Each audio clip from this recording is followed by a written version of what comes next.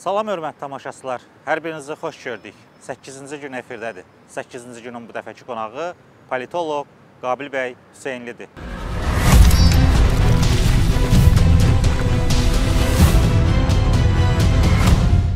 Qabil bəy, son günlər Qarabağdakı separatçıların təxribatları durmadan artır. Azərbaycan bunun qarşılığını antiterror əməliyyatı ilə verə biləcəkmi? Ümumiyyətlə son vaxtlar deyilirdi ki, sentyabr ayında Azərbaycan antiterror əməliyyatlarına başlaya biləcək. İndiki halda baş verəcəkmi? Əvvəl onu deyim ki, doğrudan da ermənilər son zamanlar ciddi surətdə dəyişib. Təkcə mən Qarabağın dağlıq hissəsində yaşayan separatçı erməniləri demirəm. Həmçinin Ermənistan erməniləri başda Nikol Paşinyan olmaqla onun ritorikası dəyişib. Bu dəyişmənin səbəbi kimi mən onun son zamanlar xaricdən 1 milyard dollardan çox silah alması ilə əlaqələndirirəm. Hətta bunlarda belə bir illüziya yaranıbdır ki, güya Ermənistan ordusunun silahla təchizatı başa çatıb, Ermənistan ordusu döyüşə hazır vəziyyətdədir. Amma açığını deyim ki, mən inanmıram ki, onlar müharibəyə can atsınlar. Amma məsələnin başqa tərəfi var. Qarabağın dağlıq hissəsində qalan erməni silahlı qüvvələri. Onların sayı 10 mindən artıqdır. Bu 10 mindən artıq silahlı dəstələr orada olan separatçıların bilavasitə əmrindədir, əmrinə tabidir və onlar vasitəsilə hərəkətə keçəcək. İndi Arayik Arutunyan Dağlıq Qarabağdakı o separatçı rejimin başından getdi. Yerinə isə Şamxalyan deyilən birisini, Aram Şamxalyan deyilən birisini təyin elədi.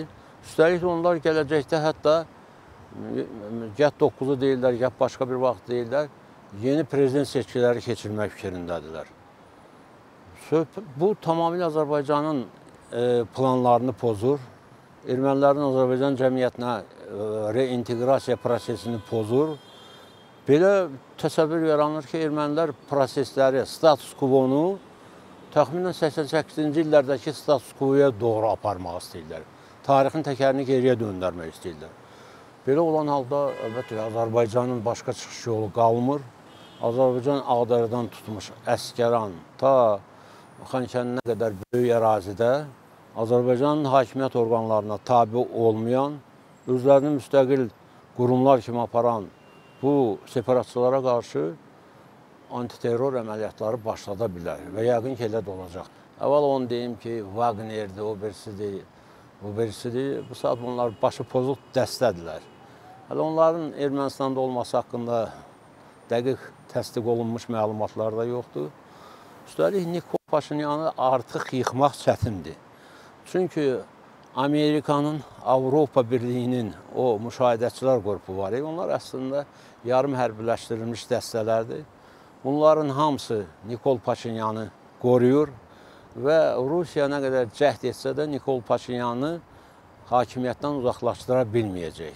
Bu saat Nikol Paşinyan Qərbin, kollektiv Qərbin tam qəyyumluğu altındadır və Rusiyanın mənim zənnimcə Nikola qarşı gücü çatmayacaq.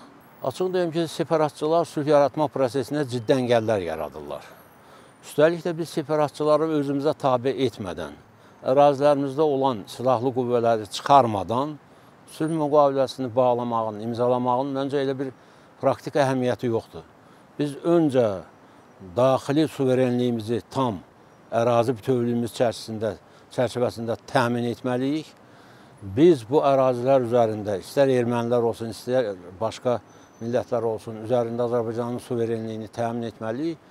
Ondan sonra sərhədlərin delimitasiyası ilə yanaşı sülh müqaviləsinin də bağlanmasına gedə bilərik. Əvvəl belə hesab edir, biz belə hesab edirdik ki, sülh müqaviləsi bağlanandan sonra da sərhədlərin delimitasiyası həyata keçirilə bilər. Çünki o uzun çəkən bir prosesdir. Amma biz belə hesab edirdik ki, Nikol Paşinyan Qarabağın dağlıq hissəsindəki ermənilərin Azərbaycan cəmiyyətinə reinteqrasiya edilməsində ən azından belə deyək də tərəfsiz mövqedə dayanacaq. Bizim daxili işlərimizə qarışmayacaq. Amma son hadisələr göstərdi ki, xüsusilə sentyabrın ikisində ermənilər özlərinin qondarma müstəqilliyini, müstəqillik deyirlər özlər, qeyd edən zaman Nikol Paşinyan onlara təntənəli bir məktub göndərdi. Bu məktubda onları mübarizəyə çağırdı və sözün əsl mənasında indiyənə qədər əldə edilmiş bütün nailiyyətlərin hamısının üstündən xətt çəkdi. Azərbaycan bu cür qızışdırıcı mövqe tutan hökumətlə Azərbaycan bu cür Azərbaycan torpaqlarında yaşayıb Azərbaycan suverenliyinə tabe olmayan e, başı pozuq kütlə ilə əlbəttə ki, sülh müqaviləsinə getmək olmaz. Əvvəl ərazilərimizdə tam səliqə sahman yaratmalıyıq. Ərazimizdə silahlı dəstələr qalmamalıdır. Bunların hamısı ya silahsızlaşdırılmalıdır, ya əsir götürülməlidir və yaxud da ki, onlara humanitar koridor açıb Erməni, Ermənistana getməyinə şərait yaratmalıyıq. Əks təqdirdə, yəni Azərbaycan bütün əraziləri üzərində özünün tam suverenliyini bərpa etmədən sülh müqaviləsinin bağlanmasına gedə bilməz. Bu ilin axırına qədər də çəkə bilər, bu gələn ilə də keçə bilər, amma onu da deyim ki, bu ilin axırını hədəfləmişdilər, amma o baş tutma, tutmayacağı indidən görünməkdədir. Gələn ilə qala bilər. Qabil bəy, yəqin ki, Rusiya Xarici İşlər Nazirliyinin sözçüsü Mariya Zaxarovanın Ermənistanla bağlı son açıqlamalarını eşitdiniz. Sizcə Kreml İrəvan üzərindən əlini çəkə bilərmi və bölgədə nə baş verə bilər? Mariya Zaxarova hər şeyi danışa bilər, hər şeyi deyə bilər və onun dedikləri heç də tamamilə reallıqları əks etdirmir. Bəli, Nikol Paşinyan bundan əvvəl İtaliyanın Le Republika qəzetinə müsahibə vermişdi. Orada sözün həqqi mənasında Rusiyanın bostanına ciddi daşlar atmışdı və hətta demişdi ki, günlərin bir günü yatıb yuxudan qalxıb görərik ki, Rusiya artıq burada yoxdur. Bu çox böyük məcazi maneəyə malik olan bir sözdür. Qəti surətdə Rusiyanın bölgədən çıxmasına bir çağırışdır və Rusiya həddindən artıq qəzəblənibdir. Amma Rusiyanın edəcəyi, Rusiyanın Ermənistana qisas almaq təriqi ilə hər hansı bir hərəkətlər edəcəyini söyləmək çətindir. Təkrar edirəm, o ciddi surətdə qorunur.